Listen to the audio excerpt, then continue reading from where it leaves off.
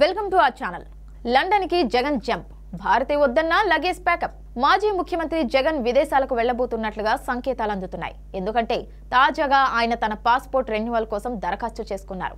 గురువారం సాయంత్రం ఐదు గంటల ముప్పై నిమిషాల సమయంలో తన భార్య వైఎస్ భారతిరెడ్డితో కలిసి విజయవాడ బందర్ రోడ్డులోని పాస్పోర్ట్ ఆఫీస్కు జగన్ వెళ్ళారు రెన్యువల్ ప్రక్రియ ముగిసిన తర్వాత అరగంటలోనే అక్కడి నుంచి తాడేపల్లి ప్యాలెస్కు వెళ్ళారు ఆ సమయంలో వైఎస్ జగన్ వెంట పలువురు వైసీపీ నాయకులు ఉన్నారు.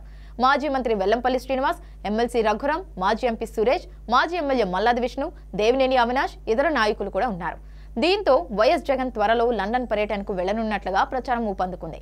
ఎందుకంటే మూడు రోజుల కిందట వరకు బెంగళూరులో జగన్ కేవలం పాస్పోర్ట్ రెన్యువల్ కోసమే తాడేపల్లికి వచ్చారని చెబుతున్నారు. నిజానికి రెడ్డి పాస్పోర్ట్ కోర్టు దగ్గర ఉంటుంది.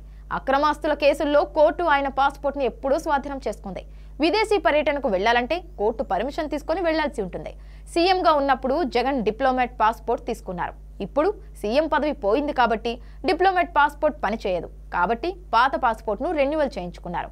పదవి లేనప్పుడు తాడేపల్లి ప్యాలెస్ అంత సేఫ్ కాదని భావిస్తున్న జగన్ ఎక్కువగా బెంగళూరులో ఉంటున్నారు.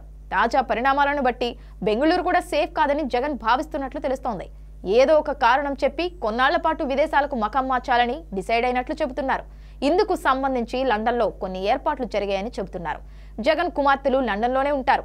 వారి కోసం నివాసం ఇతర సౌకర్యాలతో ఏర్పాట్లు చేశారని జగన్ కొంతకాలం అక్కడే ఉండాలని అనుకుంటున్నారని చెబుతున్నారు. ఇండియాలోనే ఉందామని భారతి చెబుతున్నా వినకుండా లండన్ కోసం జగన్ పయనమవుతున్నట్లు చెబుతున్నారు.